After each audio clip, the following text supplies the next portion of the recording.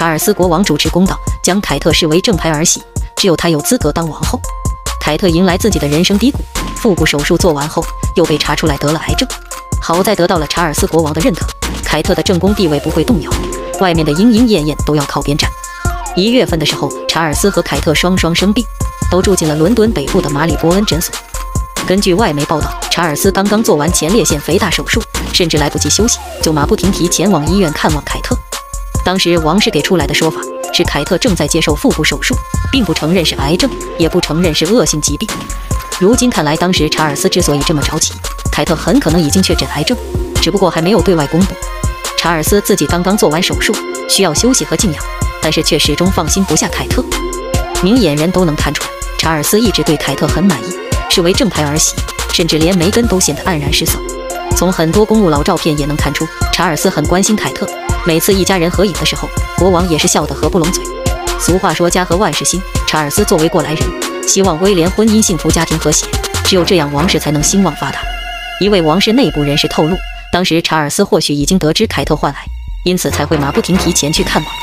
即使自己也被病痛折磨，心里依旧装着凯特，这份感情实在令人动容。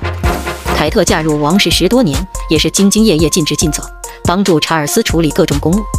即使有时候凯特风头正盛，支持率稳居王室第一，查尔斯不光不嫉妒，反而还为儿媳感到骄傲。目前凯特王妃正在进行化疗，查尔斯对此忧心不已，担心儿媳的身体健康。凯特刚刚发布视频宣布自己患癌，查尔斯也立马发了慰问声明，表示自己为威尔士王妃感到骄傲。泰晤士报也认为凯特和查尔斯关系很好，儿媳居然比女儿都受宠。或许查尔斯最大的遗憾就是膝下没有女儿。因此，将所有的爱意都倾注在凯特身上。按照原定的计划，凯特将参加复活节活动。如今由于身体原因，暂停了一切公务。对于凯特来讲，当务之急就是好好养病。只有身体恢复健康之后，才会继续履行王室职责。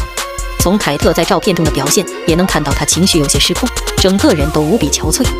被病痛折磨了三个月，并且还频频遭遇网暴，凯特的内心世界很难平静，简直就是身心俱疲的状态。除了得到了查尔斯的支持外，苏塞克斯公爵夫妇也送上祝福，王室内部难得团结一次。不得不说，这次梅根做的不错，全程都很关心凯特，关键时期向大嫂抛出橄榄枝。对于凯特王妃来讲，最大的挑战就是如何跟孩子们解释，威尔士三宝还很年幼，无法理解癌症的危害，因此凯特花费了很长时间才跟他们解释清楚。这段视频发布后，凯特得到了全球粉丝的祝福，并且很多政要和明星都发送了慰问短信。有这么多人关心威尔士王妃，期待她快点好起来。英国王室和民众都需要凯特。